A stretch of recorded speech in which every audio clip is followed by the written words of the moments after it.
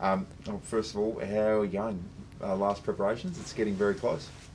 It is getting really close. It's been, um, I guess this is week 11 for us, and our draftees came in, I think, week three. So it's been a, a short preparation, but a, a really positive one, and we're just so excited for Saturday now.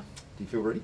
Absolutely, yeah. I think there's there's a question between how much preparation you can do versus how ready do you feel. Um, I feel confident that our players are ready, and myself, I feel ready too. Um, yeah, I suppose it's be excitement and everything else, but as a head coach, how are your preparations personally going? it's funny, like uh, my job, the core of my job is making sure my players are prepared and, and feel confident and ready to perform, and um, that's also the most enjoyable part of my job. So, in in that respect, I, I'm definitely ready, and I'm excited to see what they can do on Saturday. How much of a calming influence is some of the senior players like Erin and I suppose Justine and the, and the whole leadership group? Yeah, we do have a, a really special leadership group. Um, we've got a group of people who are really experienced as well, and so um, Juzzy, I'm not sure are we announcing milestones or anything like that. Juzzy, Juzzy will play her 50th, um, and that speaks to her level of experience as well. So, yeah, we've we've got a fantastic group of players. We've got a big group of players who've never played AFLW before. But yeah, again, back to your first question, feel really confident in our preparation, and, and we feel ready. Is there a bit of pressure there for the first game being away from home? I think it's just another opportunity for us to spend more time together, to be honest. Um, we had a nice preparation where we got to travel to Melbourne as a whole squad and play a practice match against Essendon, so that leads us in really nicely to a travel game in round one. Did you guys learn much from that pre season game against Essendon? I think there's a whole bunch of things you learn in, in a practice game, and I've exposed them to situations that suited us and also put them in situations as a playing group which wasn't perfect as well, and, and we learned from those things. So yeah, again, uh, really happy with how we've prepared. How close are you to knowing the 21 for round one? We'll announce our squad Friday afternoon. So, um, yeah, we're pretty close. We obviously still have two training sessions this week. How important will they be for players trying to get a game, I suppose? How important? If there's anyone, yeah, those two training sessions. Oh, um, well, I think you just try and be consistent in, in what you do over pre season. So, um, you know, you just my message to all of our players this week is is train how you want to play, and so I'll be looking for that from our whole squad. Mm. Um, there's going to be so many little firsts. For example, first goal scorer. What, what's, what's that going to be like? Do you reckon? I honestly haven't thought about that. Um, it's going to be awesome. Yeah. Uh, one thing our girls like to do is score. And so uh, we'll be looking to do that. And yeah, wh- whatever that first goal looks like, I'm sure it'll be a heap of fun and really exciting give us a prediction who's going to who's oh, no. I'd be quite happy for it to be anyone. To be really honest with you, I'd be yeah. The, wherever that lands is, is where it lands. You're playing. Oh, sorry. sorry. You're playing West Coast. They're last year's or last season's, I should say, wooden spooners. How do you think you're going to match up against them, and what are your expectations for the game?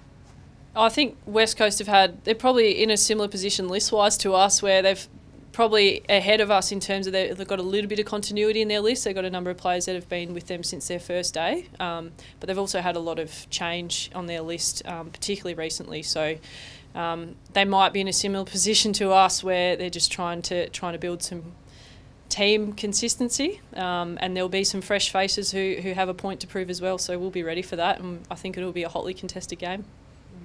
I think you've got 16 players I counted out today on your list who haven't played yeah. AFLW before. Um, how do you sort of prepare them to go to the next level? We've done so much work over this pre- short pre-season to prepare every one of our players to play W. Um, and so, yeah, without taking an hour of your time, Liz, I think there's there's been huge amounts of preparation for that group, and you know, there's there's things you can do on field, and then there's a whole whole range of off field preparation you can do. Um, so we're, yeah, we're really confident with where we've gone with that in the last ten weeks. Does it feel like a really, I suppose, tight knit group, like a really intertwined group?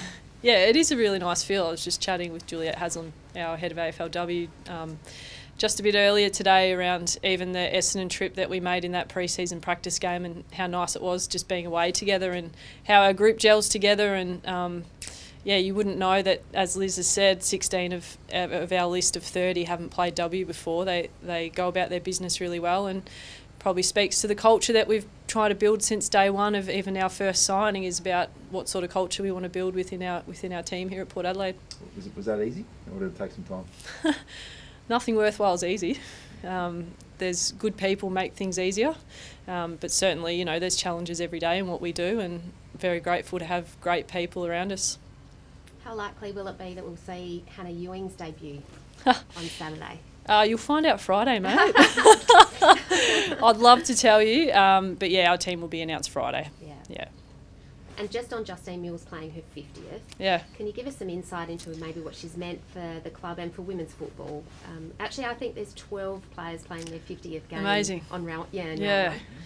yeah. Uh, I think speaking from a Port Adelaide perspective, Juzzie's almost one of those heart and soul players. Well, she is. Um, just the vibe that she brings to our group, her ability to turn up and just grind and work hard and set a standard on that sense, but also just be really fun and engaging with every single player on our list. That's really important when you build a team. And so Justine's really taken another step forward in coming to Port Adelaide and, and has taken on leadership responsibility and, and ownership of what our culture looks like. And um, yeah, couldn't be happier to have Justine in our environment and really looking forward to seeing her perform in her 50th. Mm. Can I ask you about Ebony O'Dea for an update on her lungs? How's she going? Yeah, she'll be a test this week. We'll um, we'll see how she goes. Um, obviously, copped a, a nasty knock uh, in our first practice match, um, but so we'll, we'll see how she goes this week.